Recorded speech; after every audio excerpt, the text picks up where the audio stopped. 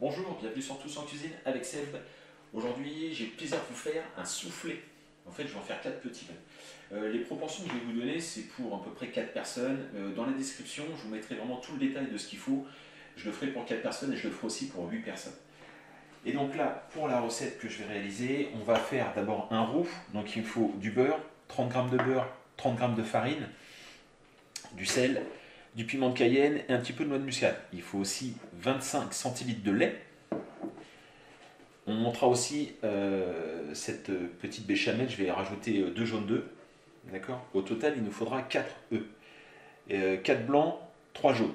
On prendra aussi euh, du fromage, là c'est de l'emmental, on aurait pu prendre du gruyère aussi, 60 g râpé, des petits ramequins ou sinon un plat à souffler. Là j'ai pris 4 ramequins comme ça qu'on va chemiser avec du beurre et de la farine.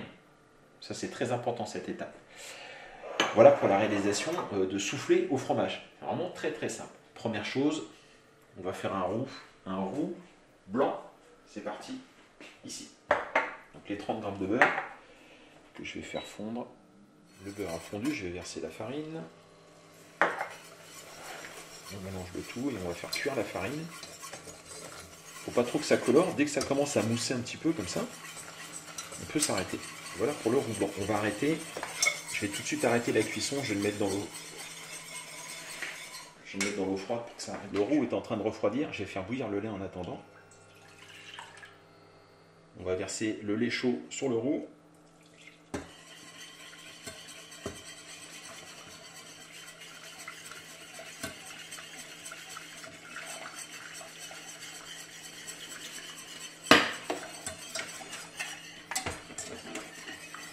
On cuire. Donc feu très doux et sans cesser d'agiter, hein, sinon ça va accrocher.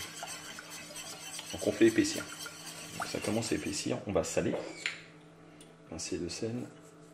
Voilà. Pincée de piment de Cayenne. Pincée, attention, pincée de noix de muscade.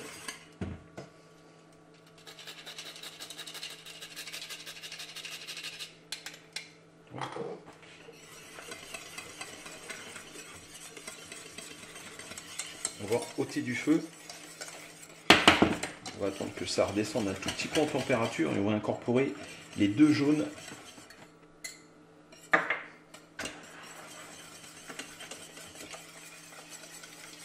Une fois qu'on a bien mélangé, on va remettre en cuisson légèrement. Vraiment très doux, hein, pendant 2-3 minutes comme ça. Une fois qu'on a terminé, on va mettre de côté alors il faut que ça reste chaud, environ 63-65 degrés. Donc moi je le mets sur une petite casserole en ébullition.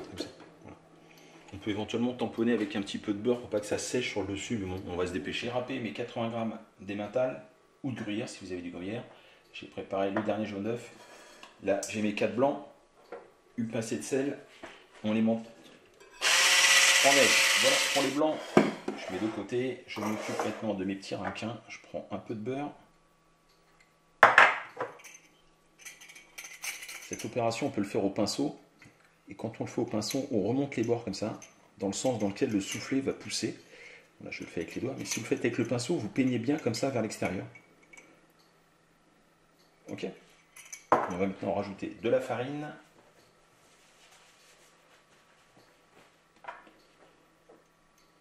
On verse la farine.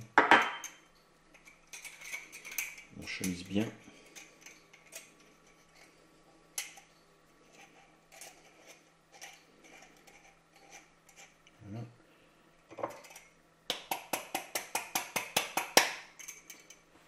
Et on n'y touche plus. C'est fait pour les ramequins. Je mets de côté. J'ai récupéré mon appareil. Pensez bien à tamponner avec du beurre, sinon ça va sécher. J'ai fait très attention, mais ça va quand même sécher. On rajoute le jaune. Donc en dehors du feu, maintenant il n'y a plus de feu.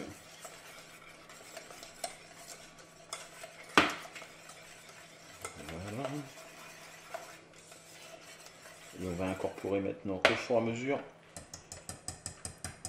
le gruyère et les blancs d'œufs. Le gruyère, on essaie de le râper le plus fin possible. Vais débarrasser du fouet. commencer avec un petit peu de blanc, ça va permettre de détendre la préparation.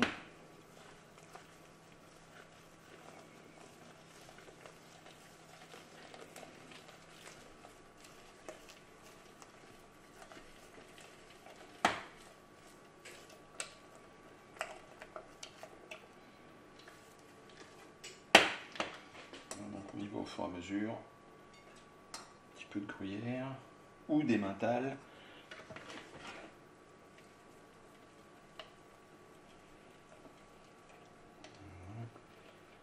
Un petit peu de blanc.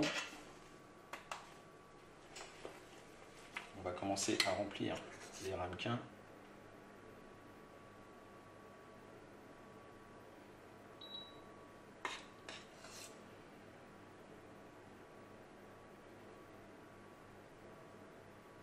On vient égaliser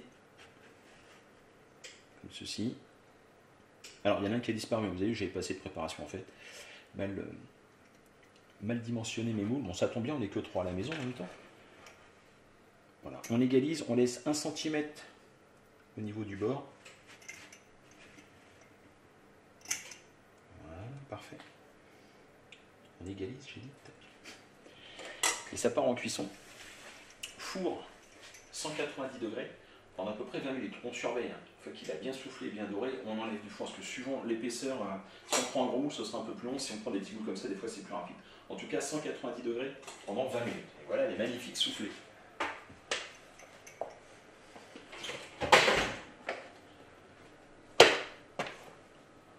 Alors, vous devez le savoir, il faut faire relativement vite pour les souffler, parce que ça a tendance à retomber. En tout cas, là, ceux-ci sont magnifiques. Écoutez, j'espère que cette recette vous a plu. Euh, il y en aura plein d'autres, hein, des recettes tout au long de l'année 2020, ça va fuser, hein, je vous le dis. Je vous remercie, je vous dis à très bientôt et au revoir.